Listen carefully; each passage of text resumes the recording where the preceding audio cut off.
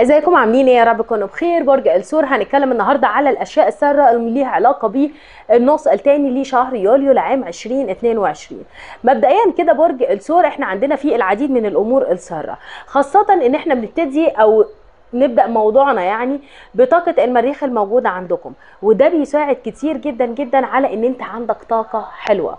الطاقة اللي ليها علاقة بإن أنا عايز أعمل كذا وأروح وأجي وأنطلق وأحقق و...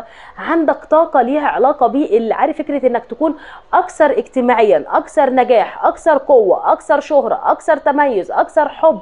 فعندك إنك أنت عايز تنطلق لأفضل شيء. فانت عندك الطاقة لأن انت تحقق لأن انت تاخد خطوات لأن انت تنطلق فعليا لانك تتميز فعليا. فبرج الثور انت بتحاول كتير انك تتميز وتتألق وانت عندك القدرة على هذا الأمر قوي. زائد كمان الطاقة اللي ليها علاقة بالعقل الفكرة كتير فكرك مهمه قوي لانك بتفكر بالشكل الصحيح جدا. عارف فكرة اللي هو أنا اقعد كده مع نفسي اقعد ادورها في دماغي أقول شمال يمين آه آه آه تقوم طالع بموضوع طالع بفكرة طالع بتصليح أزمة يعني فكرة تصلح لك أزمة طالع بحل لحاجه معينة طالع بانطلاقة فإذا عندك ده عندك ده جدا يعني دماغك ما شاء الله شغالة الله ينور. فدي حاجة كتير مميزة.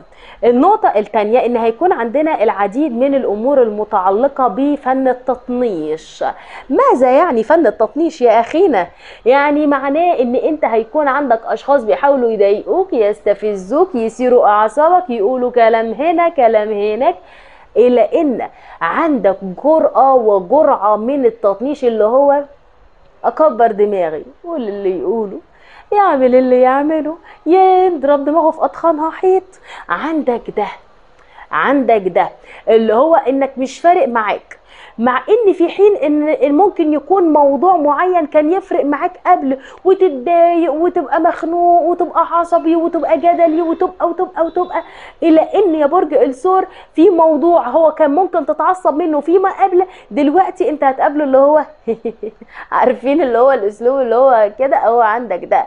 ده اسمه فن التطنيش إحنا بنقولها بالمصري كده ده مش مش مش علم فن التطنيش لا ده حاجة كده ده فن التجاهل ده حاجة بس التطنيش دي إحنا بنقولها كده يعني بالبلدي كده ما بيننا وما بين بعضينا تطنيش يعني إن أنا أكون أي حاجة عادي يعني عارفين اللي هو اللامبالاة فن اللامبالاة هو ده بس إحنا بنقول عليه فن التطنيش. المهم برج الثور فأنت هيكون عندك النقطة دي قوية قوي. ليه ليه بقى؟ لأن في شخص ما بيحاول إن هو يقول لك إيه؟ أنا ما خسرتكش أنت اللي خسرتني. أنا عملت أنا سويت أنا مش عارفة إيه. فتبدأ إن أنت تكون يعني عارف اللي هو إيه؟ أنت بتكلم نفسك يا أخينا عادي جدا اعمل اللي أنت عايزه. أنا دماغ لوحديه عارف الجو ده. فيكون عندك ده قوي. فدي حاجة أنا بشوفها إنها إيجابية لأنك بتحافظ على سلامة النفس جواك. النقطة اللي بعد كده يا برج الثور لما نيجي نتكلم مثلا على الأمور المهنية. الوضع المالي بالنسبة لك انت لحد يوم 19 هيبقى بالنسبة لك في إيجابية في تحسن في الوضع المهني في أخبار سارة متعلقة بإيجابيات بتقدم إلى آخره. عندك كمان هيكون في محاولات كتير للاستقرار وعندك يومين هيكونوا حلوين جدا جدا اللي هو من بداية انطلاق كوكب عطارد لبرج الأسد. فأنت بالنسبة لك يوم 20 21 بالنسبة لك هيبقى أجواء لطيفة كتير لأن القمر هيبقى متواجد عندك أو ينتقل عندك.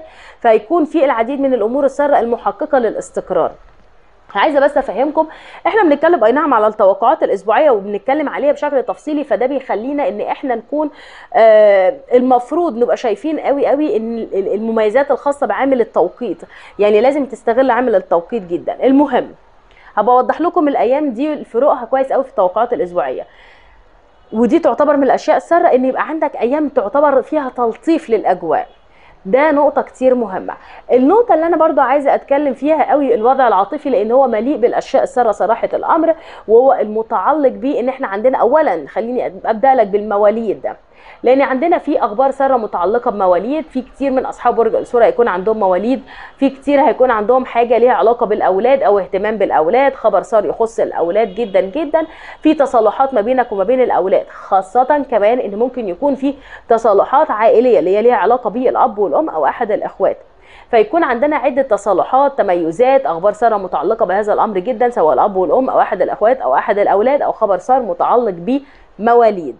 فدي نقطة تعتبر من الأشياء السارة الرائعة كتير والمميزه واللي تثير إيجابية في حالاتنا النفسية قوي يا برج الثور برج الثور بالنسبة للوضع العاطفي على وجه خاص لأن هيكون عندنا تحسن في الوضع العاطفي جدا. في كتير من الأخبار السارة من ليها علاقة بالحبيب في عندك تواصل مع الحبيب.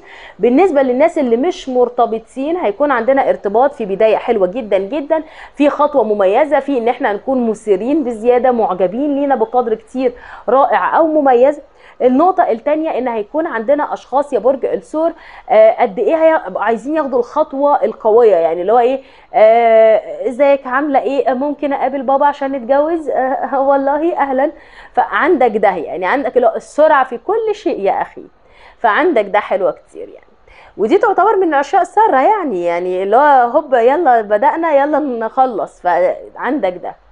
الأمور العاطفية للناس اللي هم مرتبطين بالفعل هيبقى عندك تحسن عاطفي واضح. فهيكون عندنا آه، حب بقى يعني في في حب ما بيننا إحنا الاثنين ما بينك أنت وشخص أنت مرتبط بيه وواضح كتير وملموس جدا. فهيكون كتير عندنا آه، مشاعر حلوة إحساس حلو. على فكرة لما يكون كوكب الزهرة موجود ببرج السرطان كل الكواكب بتبقى مشاعرها متحركة قوي قوي قوي فيبقى عندك ده يعني حالة من الحب حالة من المشاعر حالة من الاندفاع في العلاقات العاطفية. فيكون عندنا في كتير أمور عاطفية لذيذة ما بينك وما بين الحبيب. في دعم ما بينك أنت والحبيب في كلام حلو ما بينك أنت والحبيب في أخبار سارة متعلقة بمواليد ما بينك أنت والحبيب أو أولادكم.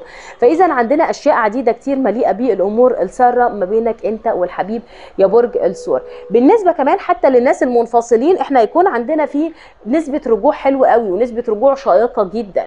جدا. فاذا في أجواء أقدر أقول إنها لطيفة نوعا ما. برج الثور النقطة اللي بعد كده إن هيكون عندك نجاح في حاجة معينة زي مثلا نتيجة امتحان حاجة أنت كنت مقدم عليها آه، كورس معين ممكن يكون في في حاجة ليها علاقة زي فكرة نتيجة. بتنجح فيها جدا.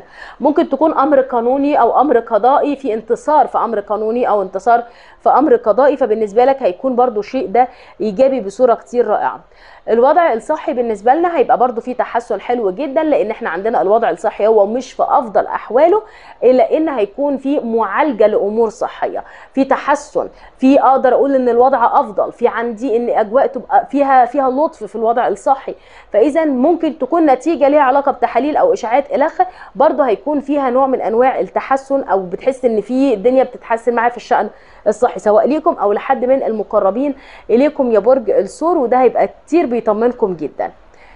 ده كان من أهم الأشياء السارة المتعلقة بالنص الثاني لشهر يوليو. طبعا التوقعات الأسبوعية زي ما بكلمكم على شكل الأيام بكلمكم عن النصايح بكلمكم على بعض الأشياء السارة اللي تخص الأسبوع والأيام الأفضل والأحسن. عامة ما تنسوش ال like وال share والاشتراك في قناة وتفعيل الجرس. سلام.